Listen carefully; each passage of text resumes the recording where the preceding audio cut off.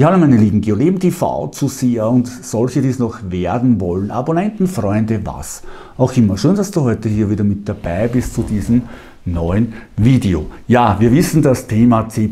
hat uns nach wie vor fest, fest im Griff, beziehungsweise wir haben das C-Thema ziemlich im Griff. Natürlich eben auch die damit verbundenen gesundheitlichen Risiken. Andererseits möchte ich euch auch gerne mitteilen, dass ich mich eben seit geraumer Zeit wieder einfach wesentlich mehr bewege, mehr Sport, vor allem auch in der freien Natur betreibe und generell wieder seit gut einem Jahr mich wesentlich konsequenter, genauer, besser ernähre. Das wissen auch schon einige von euch. Und deshalb finde ich es einfach ganz wichtig, neben lebendiger Nahrung, Bewegung, Muße und eben auch einer ausgeglichenen Work-Life-Balance, schöner Modebegriff, einfach auch mal über sinnvolle Nahrungsergänzung wieder mal zu sprechen. Für welchen Zweck auch immer. Ja? Welche Nahrungsergänzungen und welche Vitalstoffe, Spurenelemente und Superfoods man zu welchem Zweck, zu welcher Zeit und in welcher Kombination einnehmen sollte, sodass man einfach auch mal den besten Nutzen, beste Wirkung daraus ziehen kann. Das erfährst du, wie du weißt, wie immer nach dem Intro.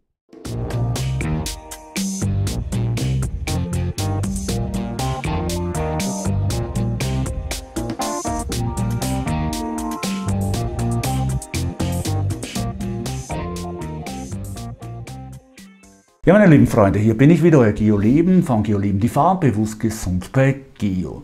Ja, ich erzähle euch jetzt einfach mal, was ich so mache, wie ich vorgehe, so über den Tag nach dem Aufstehen quasi. Ja. Verschwenden wir nicht viel Zeit, wir legen jetzt einfach mal los und wie das Gesundheitsblatt auch immer wieder so schön sagt, los geht's.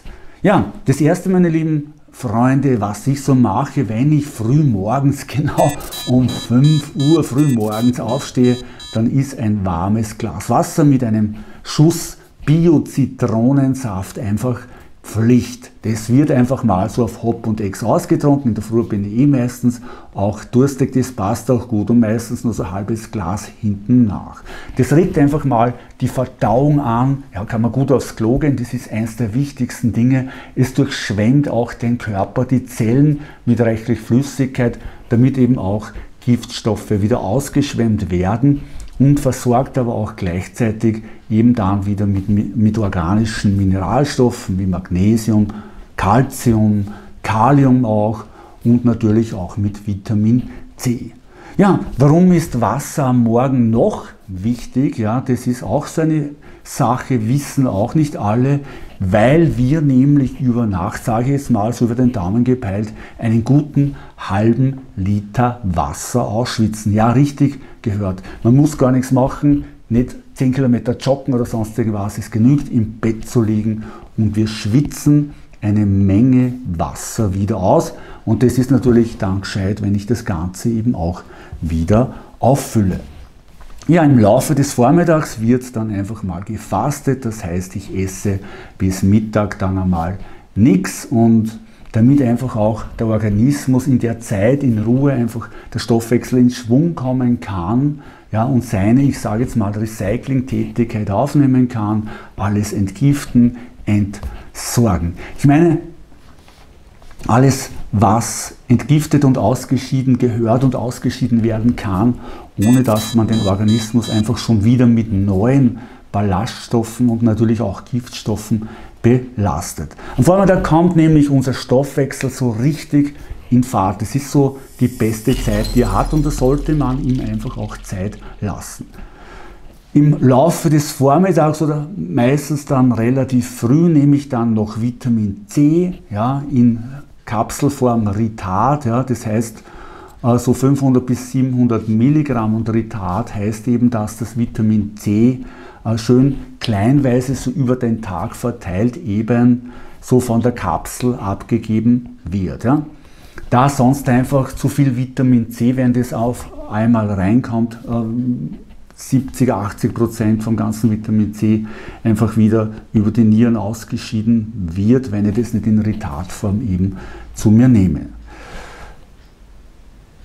Dann nehme ich auch noch zwei Kapseln Alpha-Liponsäure. Ich habe mir schon ein paar Sachen auch hergerichtet, also da Alpha-Liponsäure, zwei Kapseln, ja, welches erstens ein super Antioxidant ist und zweitens die Entgiftung und Ausleitung von Giftstoffen fördert. Ja, es ist ein Gelatmittel, das heißt, das ähm, geht an die Giftstoffe ran ja, und wird dann eben durch dieses Gelatieren ausgeschieden, wie zum Beispiel Quecksilber, Fluor, Aluminium, Beryllium, also diese Stoffe, ja, die wir ja auch alle immer täglich über die Umwelt aufnehmen, teilweise auch schon drinnen haben, das kann man super gut mit eben Alpha-Liponsäure ausleiten.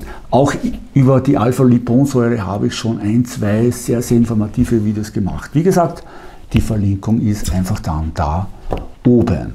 Ja, wichtig ist aber zu erwähnen bei der Alpha-Liponsäure, dass diese nicht zusammen mit Zink genommen werden sollte.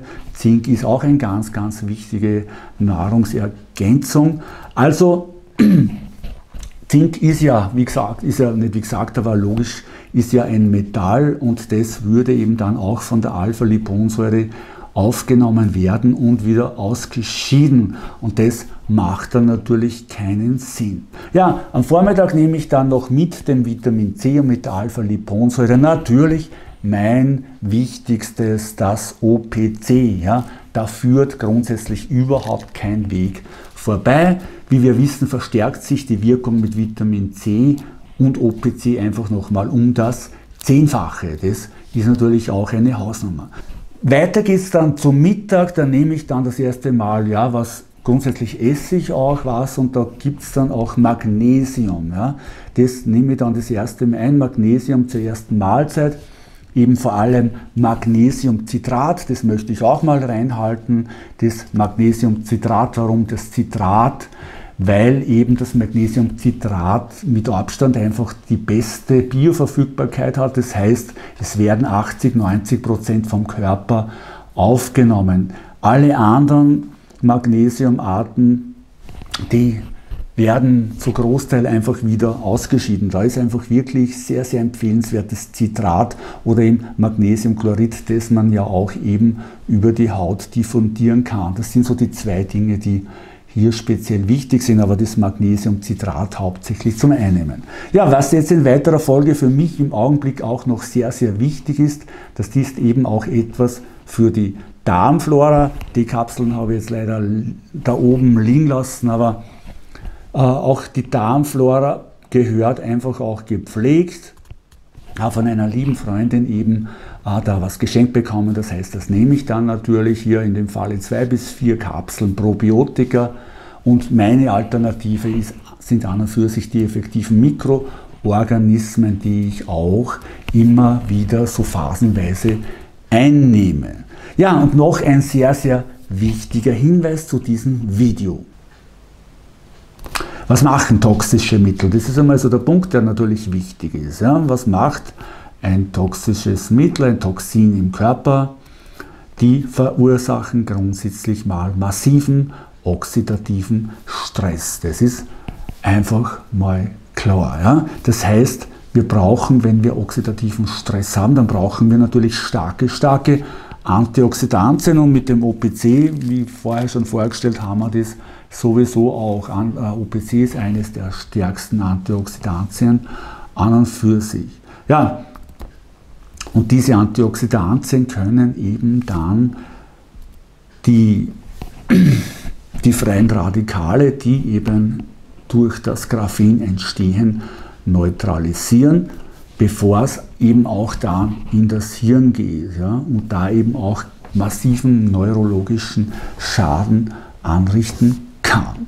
Ja, neben dem OPC ja, ist das grundsätzlich stärkste Antioxidant das Glutation. muss ich aufpassen, dass ich das richtig sage. Glutation, ja, das ist, finde ich aber recht lustig, wenn das andere sagen, die achten das sehr drauf. Also Glutation, das kann normalerweise selbst vom Körper hergestellt werden und deshalb ist die erste Variante hier nicht selbst Glutation einzunehmen. Ja, das heißt, Da brauche ich jetzt grundsätzlich mal kein fertiges Glutation dazu, sondern ich brauche das NAC, das heißt N-Acetylcystein, ja, N-Acetylcystein und dieses NAC veranlasst den Körper, wie gesagt, Glutation selbst in höherer Menge herzustellen. Auch über körperliche Anstrengung zum Beispiel, ja, auch Sport, eben körperliche Anstrengung, wird der, der,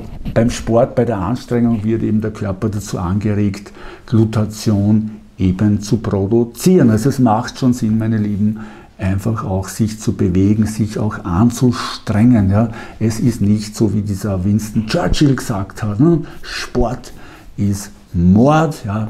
Sportbewegung hat meistens eher doch mehr Vorteile als Nachteile. Ja, als nächstes Spurenelement haben wir dann Zink. Ja.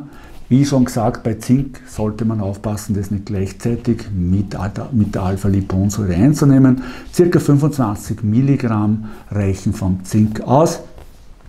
Und wenn man jetzt die Alpha-Liponsäure nicht nimmt, dann nimmt man Zink am besten in der Früh und sonst halt einfach später.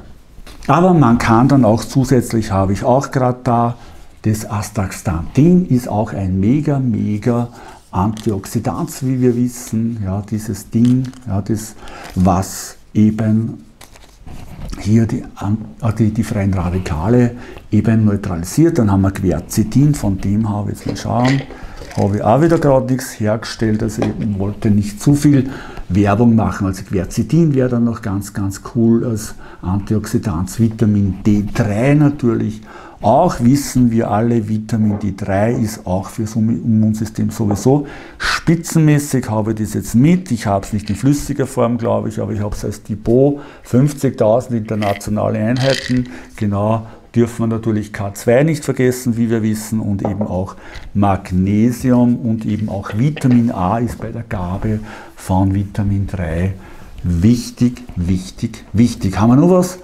Ja, Mariendistel, das kann auch ein gutes Antioxidant sein, eben auch Mariendistel, aber das ist auch speziell noch für die Leber, für den Magen, weil eben auch hier viel, viel entgiftet wird, logischerweise. Ist Mariendistel auch eine gute Sache oder eben auch, wie natürlich, äh, dass man generell für die Leber was macht. Wir haben ja ein Video gemacht in der letzten Zeit, eben auch diesen Heavy Metal Smoothie, der sowieso so eine Leberkur ist, aber Mariendistel wäre da eben auch was, was ich einfach so mitnehmen kann. Ja, und dann haben wir noch Melatonin. Das ist auch wunderbar, weil das ist sehr bekannt für oder gegen die Strahleneinwirkung Melatonin, der wir ja sehr, sehr stark ausgesetzt sind, also der Strahleneinwirkung und sich das natürlich auch auf den Schlaf dann eben auswirkt und Melatonin äh, sorgt einfach dafür, dass wir wieder besser schlafen können, weil das Melatonin natürlich dann, wenn wir sehr viel Strahlen ausgesetzt sind, hier verbraucht wird. Also Melatonin ist sicher auch kein Fehler, das Ganze zu, zu einzunehmen, eben genau. Ja, und dann ist noch eins ganz, ganz wichtig, auch wieder ein ganz gefährliches Thema als Ausgleich zu den Antioxidantien, sollte man dann auch noch Oxidantien zu sich nehmen. Es gibt sicher noch das eine oder andere Ding, was man dazu nehmen kann, aber ich möchte die Liste jetzt eben auch nicht äh, ins Unendliche da jetzt befördern. Das reicht so, meine Freunde. Also das ist das, was ich zurzeit nehme. Immunsystem wird dadurch brutal geboostet. Natürlich auch über alles andere, Ernährung und dann, ich trinke nach wie vor meinen Heavy Metal Smoothie. Das ist schon mal wichtig und Bewegung und Ernährung. Und das sollte eigentlich ein jeder machen, sein Immunsystem auf die natürlichste Art und Weise zu boosten. Aber offensichtlich kann das auch nicht ein jeder. Also gut, meine Lieben, das war's. Lasst mir 1, 2, 3, 4, 5, 6, 7 Daumen hoch da, schreibt mir eure Meinung in die Kommentare. Schaut auf meine Homepage bewusstgesund Geosix bei Lebensmund.at. Da sind sicher einige dieser jetzt vorgestellten Nahrungsergänzungen eben auch von mir empfohlen. Kann man sich dann auch gerne bestellen, wenn man das will. Also, wir sehen uns beim nächsten Video. Baba, ciao, tschüss und servus, euer Geo.